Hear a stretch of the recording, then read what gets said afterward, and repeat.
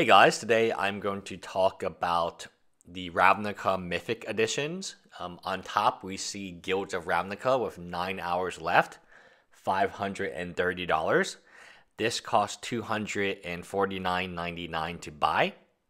And you were given a free top loader from Ultimate Masters, worth, I would imagine, on average, $75, especially given the fact that it came out early. So maybe $100. So if you invested $250, you would have double your money, more than double your money with shipping, and got a free box topper of Ultimate Masters. So clearly, it was a fantastic buy. It was the best buy of the year, very easy money. As I've documented before, certain YouTubers had their subscribers buy for them because there was a limit of two. Uh, therefore, they were able to buy a few thousand copies, I imagine, or as many as they wanted. For charity, of course. Charity. So this was an easy flip. Um, the easiest money that you could ever make in Magic the Gathering was buying this product and or having your relatives. So the product was a little unique at this point in time. You could buy them from Magic Fest. There is a certain MTG finance person that took his grandmother, his niece, his uncles. I mean, he took it like his whole family, his like fake family. He paid homeless people to go buy this stuff for him because you could actually buy it in the Magic Fest, which was run by Channel Fireball for 250 and then you can flip it on eBay for 600, 700 bucks. No problem. No problem at all. So Oh, in this case, their standard uh, shipping is not even included, so could, could you know shipping costs additional uh, in this case. So you don't you don't have to worry about shipping. So essentially, uh, these things are selling uh, very very fast. Um, they're doing very well. Now the question is, oh, this is selling from China. That's interesting. I didn't know they had the Guilds of Ravnica edition I assume Ravnica Allegiance probably different, but Guild Ravnica Edition probably would be harder to get um, your hands on. I assume. You know, for a foreign country, I didn't know that they showed it, sold it in foreign countries.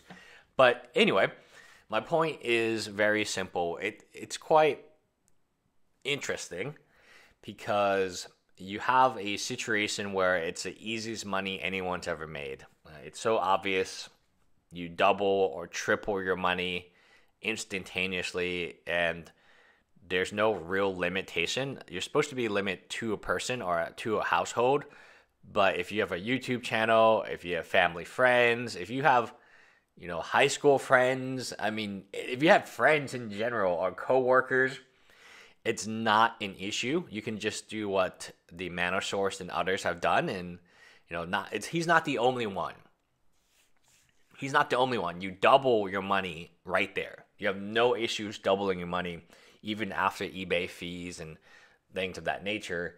You will be fine. Now the question is, now the question is, Ravnica Allegiance. How is that going to do? Because maybe you missed the opportunity with Ravnica, uh, Guilds of Ravnica, the first one version of this. Ravnica Allegiance, the Planeswalker is, in my opinion, are not as good. And it's still on sale. You can still buy from the Hasbro website. So all these like websites that are charging 110 more dollars doesn't really make too much sense for me because a you get you get it slower than the original Hasbro. Uh, here, Ravnica Allegiance uh, Mythic Edition is 700 bucks. Um, that's the new one that you can buy on their website for $250. So theoretically, you could buy three of these boxes for the same price. Why would you not do this, right? Like, it doesn't make any sense that you would want to buy from an eBay vendor for triple the price. But people are doing this. I, I'm not sure if they're international or what the issue is, but you can flip it for quite a bit of money. Now, the question is should you flip it? Um, is this a good concept? And I think for me, given where I'm currently with in the game, I don't like this type of price point. And I don't like the price point because it rewards wealthier individuals. So if you don't have $250 to buy this to initial investment, then on Hasbro's website, the shipping is free. Then you're kind of out in the dark, right? You're kind of out. And that's not a good thing to feel, in my opinion. That's very bad for the game. Because let, let me say this if you want, if I told you there was a $500 investment that you can flip for $1,000 easy, no problem, in two months, you would say, yeah, I'll take it. But what if you didn't have $500? What if $500 is what you need to pay for rent or food or expenses? Then you don't have the capital. This is how the rich get richer because these opportunities only exist for the rich. This is the perfect example of something where um, it will segment the community because um, what's happening is the people buying this are not interested in enjoying magic so like that MTG finance person that took his uncle, his cousin, he doesn't even play Magic. He doesn't even play Magic. He's openly only MTG finance. Uh, you know who I'm who I'm talking about because he brags about it all the time, right? He's like, "Oh, I bought a hundred of these things and I made so much money." And you know, I it, it's a sad state of the game, and I won't support it. I'm not going to support it, but I can tell you if you want to buy it right now, you can buy from. I tried to buy it from Wizard of the Coast right now, and it works. You can buy as many as you want. Just use different addresses, different eBay accounts, you'll be fine. Uh, this type of stuff is, in my opinion, going to eventually destroy the game. It is just like in our society the rich get richer because they can put their money into investments, stocks or bonds or whatever they're investing in. The poorer people do not have this capital because they're living paycheck to paycheck. Therefore, they cannot. If I told them, hey, Apple is going to be a hot stock, they can't invest. They won't invest in Apple because they don't have any money to do that. Now, if you're really wealthy, you can put 100 million to Apple, and hey, Apple doubled, and now your 100 is 200, and you can put it into Tesla or something else, whatever else is popular at the time. In my opinion, this type of stuff will eventually fail. Um, they, there's many reasons it's going to fail. The number one reason is it kills game stores.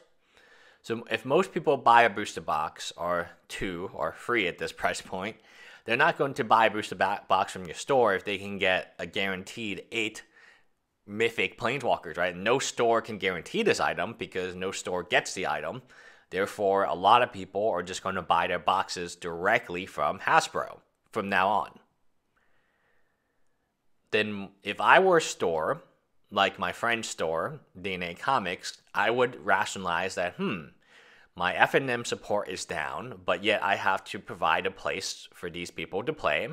I have to provide an employee for them, so you know, you know, to manage, to put in the system. I have to provide electricity. I have to provide, obviously, heating. Hmm. I have to provide internet for them, a TV show. I have to be open during these hours, which are not normal hours for me to want to be open. The same with pre-release, and then all the money goes back into a prize pool anyway. So how much money am I really making from this venture of FNM and pre-release? And they will probably conclude no money, and then they're going to conclude, okay, how much money can I make selling singles? And the answer is not no money because you have to hire someone who's good at buying and selling, and that takes more per hour. And then they're going to ask, okay, how many boxes can I buy? And the answer, how many boxes can I sell? And the answer is no boxes. Because you're competing not against Amazon, not against sports and more. You're competing against Hasbro, which has a booster box which contains eight mythic planeswalkers I mean, you just have a regular booster box for a hundred bucks. Why would anyone want to buy your booster box when there's a seven hundred dollar booster box they can get for two hundred and fifty dollars, which guarantees them the new planeswalkers? Even new players are going to understand this. That hey, if I really want those new planeswalkers, should I buy two boxes and have the chance of not getting them, or should I just buy this box and guarantee the, the new planeswalkers?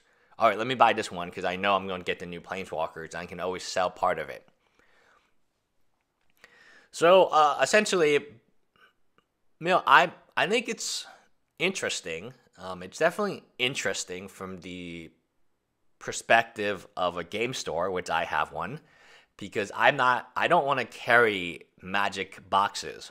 I'm really against carrying magic boxes now because I can't compete. Um, it's not just the price point, but it's how limited these items are. It's difficult for any store to compete on. Um, no store can guarantee their box is going to have eight mythic planeswalkers, not even the full art or the alternative art or any of that stuff. If you want to get the new Kaya or the new Domri, this is the easiest way to get them that you can play with them in standard. There's no reason for you not to get them like this. So, I mean, my opinion, it's quite fascinating what's happening to our game because this is a direct to consumer model, meaning Wizard of the Coast does not need game stores anymore. But the game stores, they pay out of pocket. And I've tried FNMs. I tried one FNM and it was just not profitable in any aspect. So I stopped doing it. Uh, the same would be for employees, which I'm going to get into a little later. And I'll talk a little bit about Rudy's model.